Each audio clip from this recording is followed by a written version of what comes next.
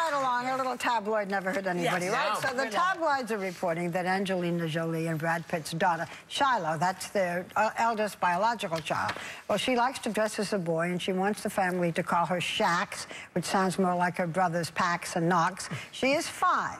Should her parents give her the power to make these decisions? I mean, if you have a kid that's a, you know, a tomboy and, you Well, you know, my do do? daughter, when she was uh, five or so, she only would wear dresses. She refused to wear pants. So when it was like 30 below, she would go out with a dress. So I had to really put like three uh, leotards on her and really pack her on. And then she'd wear like, she'd pick her own clothes. So she'd wear plaids with stripes and all sorts of So crazy. And today she's an artist. So I really think that a child has a free, should have a freedom to dress the way they want to dress. It, Okay. it allows them to be who they are. It's wonderful. But then, you know, I think, uh, I, I, you know, I don't know if they're saying uh, they're going to go to court to change your name because I think that's what nicknames are for, you know. the- you, but I'm going, do you let your child make decisions that are go that may affect the rest of their life, and they don't know what the rest of their life is? Well, like because what? they're In- underage. But do you Depends on how also protect their, I mean, we t- think about protecting our children in terms of safety and health, but we also should protect them emotionally, right? And Yeah. psychologically. And I think if you know that your child is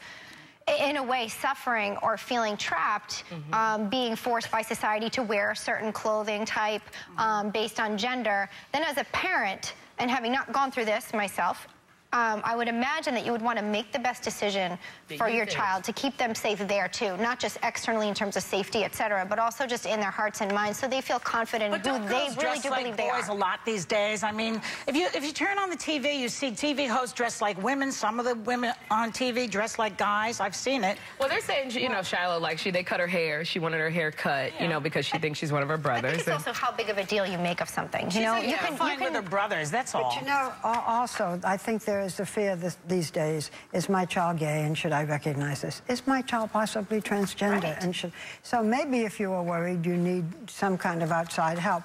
Otherwise, if your kid wants to change the, I mean, my, I went through most of my life being called Bobby. Now, you know, because I hated Barbara.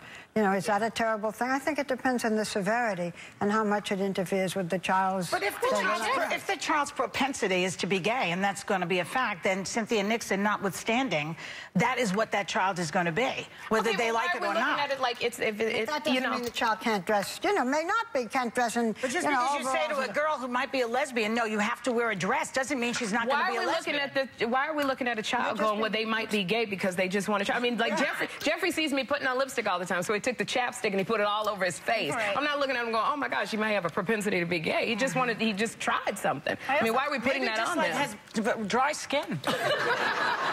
Yeah, well, you got three kids, so you get the last word on Ever this. think of that? You know, I, I think you. I think as a parent, like I said, you have to protect them as individuals and pre- protect their hearts. And I think also, like you know, making a big deal out of something all the time and having hyper attention on one issue in their lives when it comes to how they're dressing or how they're feeling, they are going through developmental stages that need to be gone through. And that, quite frankly, I think in our day and age, we spend too much time with the hyper focus on it. You and see, then it I don't let Jeffrey put on different clothes, and it's not because I don't want him to, to uh, you know, be free and feel who he wants. I don't have time. We got a certain amount of time to get on here. You go put on what I tell you to put on. I don't, I don't have time to go through all of that. You want to do this? You want to do this? You want to put this on your head? You wanna- we don't have time. It's Okay, speaking of time, you want to give a message? I just want to say Tracy Morgan.